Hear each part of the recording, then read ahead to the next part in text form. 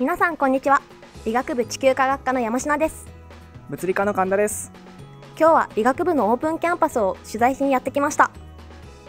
僕がオープンキャンパスに行った時に物理科の先生や先輩方のお話がとても面白かったことを今でも覚えています。それでは映像をご覧ください。どうぞ。今日のオープンキャンパスに参加する動機っていうのは何かありましたか？えっと今年受験生になるので志望校を完全に決定するために来ました。と友達に誘われて一緒に来ました。受験勉強に関しては今年は今もやってるんですけど必ず勉強することを前日に決めておくっていうのが今でもやっていることです。やっておけばよかったことはあのセンター試験の英語って本当に稼ぐポイントになると思うんで英語を落とすとなんかうんって感じになっちゃうことがやっぱ多いんで英語頑張りましょう受験はまずセンターが大事なんですけどその前に別学力検査っていうのがあってその評価をまずやった方がいい例えば理系だったら数学と理科は必ず国公立行くなら必要になるのでまずはそこを強めてからセンターの前ぐらいにセンター試験の勉強ぐらいでも大丈夫だと思うので結局あの、まあ、センターも大事なんですけど個別が結構重要になってくるんで数学理科英語はこの夏休みには強めた方がいいと思います。多分やってみてよかったと思ったら次の日自分がやりたいことを書いて寝る前に天井に貼ってました。で天井に貼って起きた時に自分の今日やるべきことが目の前にあってそれが一番まあやっておいてよかったすごいはかどりました気持ちができる。そう。やっておけばよかったことといえば、まあ、もっと早めに勉強してればよかったと思ってます。皆さんもっと早めにやりましょう。地球科学科はさっきもしかしたら説明受けてるかもしれないんですけど野外実習っていうのがあって博物館とか富士山に行ったりしますそれが科学館にはない面白さと私は思っています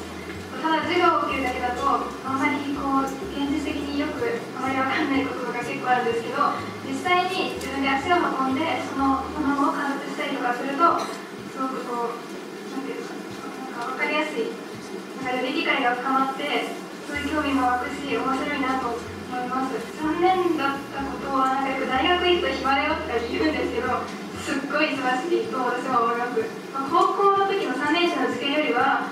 忙しくないかもしれないけれど自分でなんかいろんなことを決めていかないと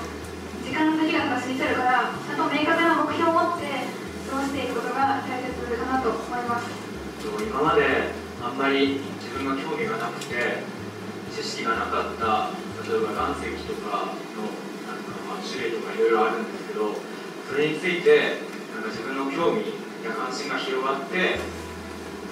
知識がどんどん増えていくっていうのは、まあ、良かったことかなというふうに思っています地球科学が入ってよかったことは、まあ、高校で地学を習ってなか習ってなかったのでそういう分野が学べたのがすごい良かったのと、まあ、さっき言ったように富士山とか野外実習が何回かあるのでそういうのはすごい楽しいです何年だったことはないです、まあ、当に素晴らしい学科なんで入って楽しい学科です。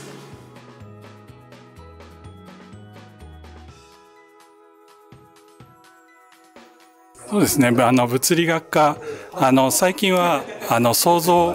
えー、理学コースというのもできて、えー、2年次からあの物理学科に入るという、えー、コースもできまして、えー、今年あの最初の、え、募集で入ってきたんですが、えー、そういういろんなあの方面から、えー、物理科に入るということも、えー、可能になってきました。で、えー、物理学科の受験も、えー、推薦あと一般入試前期日程後期日程あるので、えー、まあいろんなあのー、ところから受験が可能なんで、えー、自分に合った、えー、科目で受けられるところを、えー、受けてもらえば、え、いいと思います。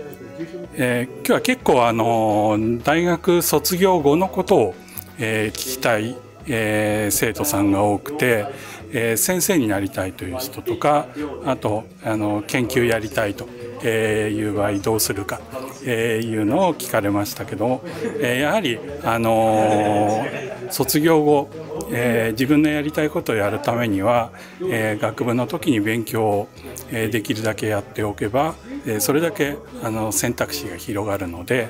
まあ、あのこれから入ってくる皆様も、えー受験が最後じゃなくて、えー、その後大学に入ってからのあの勉強も頑張ってもらいたいと思います。あの元気のいい、えー、学生さんがやっぱり、えー、いいと思います。あの授業やってると、えー、みんなのシーンとしてて、えー、反応が、えー、少ない、まあ、大学生になってくると反応が少なくなってくるんで、え、できればあの、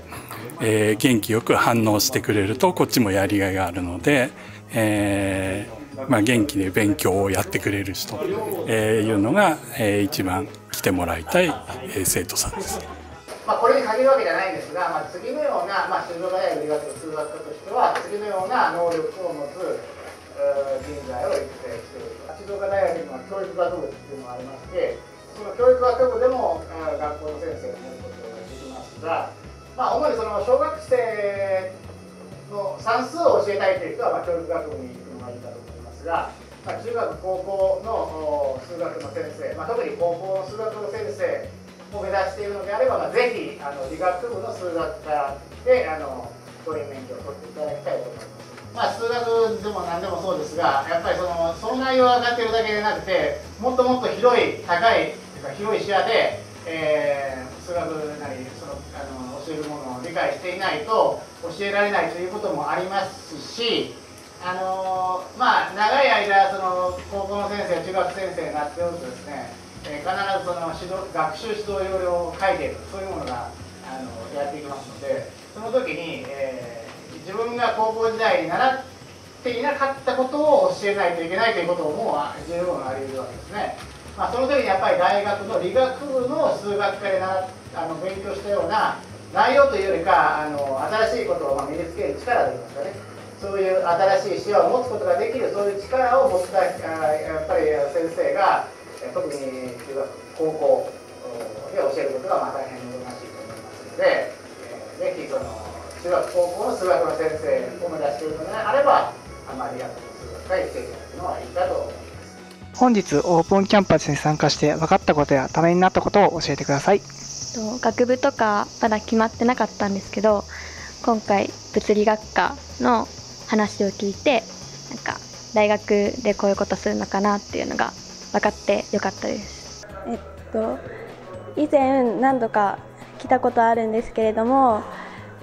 なんか大学の授業の様子とか思っていた以上に大学生のプレゼンテーション能力が高くなったりすることが分かったのでよかったです。ありがとうございました。以上理学部のオープンキャンパスの様子でした。山科さんはどうして理学部を選んだんですか？はい私は岩石や地球の内部構造に興味があったので理学部に進学しました。実際静岡大学に進んでみてどうですか？そうですね。富士山での実習など静大でしかできない野外実習がたくさんあって楽しいです。興味の湧いた高校生はぜひオープンキャンパスに参加してみてください。